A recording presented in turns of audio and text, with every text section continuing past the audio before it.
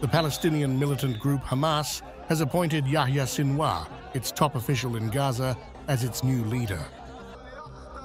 Sinwar, a shadowy and influential figure who masterminded the devastating October 7th attacks in Israel, assumes leadership during one of the most turbulent periods in the group's history.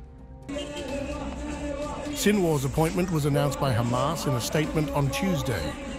The decision to elevate Sinwar, who leads Hamas's hardliners and maintains close ties with Iran, represents a significant shift within the organization's power dynamics.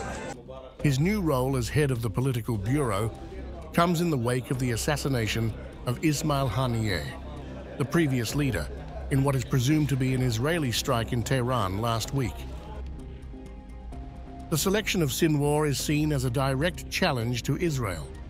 Sinwar, known for his secretive nature and militant stance, is now at the top of Israel's kill list. Yahya Sinwar, unlike his predecessor Haniyeh, who had lived in exile in Qatar for years, has remained within Gaza's volatile confines.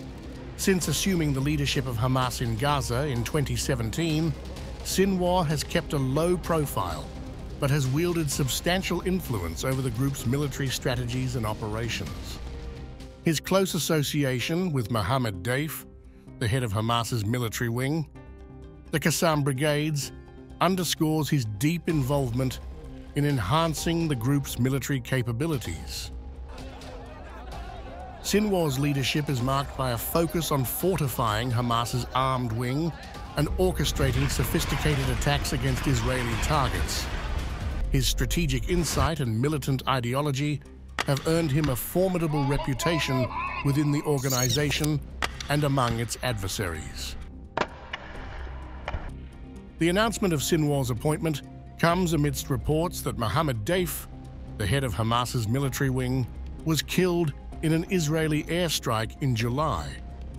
While Israel has confirmed Deif's death, Hamas has yet to acknowledge it publicly. Deif's purported demise signifies a major blow to Hamas's military hierarchy and operational command, adding another layer of complexity to Sinwar's leadership tenure. Since the October 7th attacks, Sinwar has been in deep hiding, eluding Israeli intelligence and military efforts to locate him.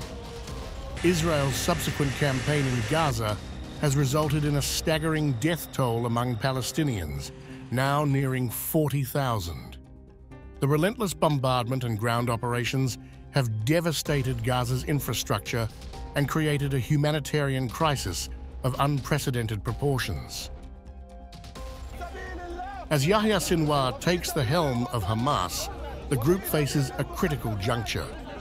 With Israel intensifying its efforts to eradicate Hamas's leadership and dismantle its military network, Sinwar's leadership will undoubtedly shape the future trajectory of the Palestinian resistance and the broader geopolitical landscape in the Middle East. His appointment signals a continuation of Hamas's hardline stance and its resolve to confront Israel setting the stage for an extended and bloody conflict with far-reaching consequences.